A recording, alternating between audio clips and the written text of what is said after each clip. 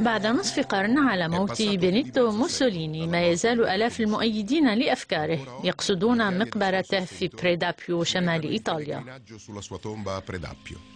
مع نهاية الحرب العالمية الثانية حاول موسوليني الفرار مع عشيقته كلاريتا بيتاتشي لكن الحلفاء ألقوا القبض عليهما قرب بحيرة كومو وقتلا رميا بالرصاص ثم نقل جثمانهما إلى ميلانو. فيلم وثائقي جديد يتناول قصة جثة موسوليني كمنطلق للتساؤل حول تاريخ إيطاليا بعنوان جثمان الدوتشي.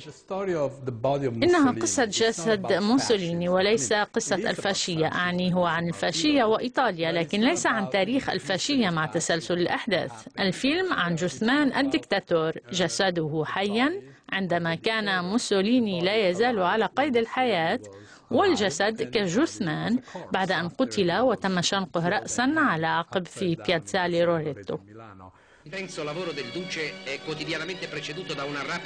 صور لبنيتو موسوليني من أرشيف معهد لوتشي الإيطالي التي تظهر كاريزما الدكتاتور وكيف تم إحاطة شخصيته بهالة من العظمة والقوة الجسدية والرجولة.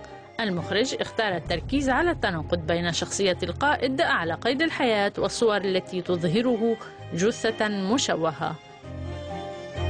بعض الإيطاليين انتقد كيفية تعامل لورنتي مع المشاهد العنيفة وهو اعتبر أن الإبقاء على حقيقة المشاهد تتطلبه الحيادية التاريخية. صور الفيلم ربما هي بعض الشيء بشعة وعنيفة ولا يمكن للجميع مشاهدتها. التقطتها الفرق الأمريكية من فرقة الإشارة والقوات الخاصة لتوثيق تحرير إيطاليا. وهناك صور لم يسبق عرضها من قبل. Uh, liberation of Italy. And uh, uh, plus, there are pictures never تظهر الجثة التي عثرت عليها قوات الشرطة. وفي العام 46 عثرت الشرطة الإيطالية على الجثة وأودعتها في مخزن للصابون في ميلانو. الجثة بقيت في هذا المكان طوال 12 عاما حيث تحللت. وفي العام 57 تم تسليم بقايا الجثة إلى عائلة موسوليني التي دفنتها في مقبرة في بريدابيو مسقط رأسه. بعض الإيطاليين وصف فيلم لورنتي بأنه فيلم رعب. المخرج أكد أن خبرته في مجال أفلام الرعب ساعدته لتنفيذ الوثائقي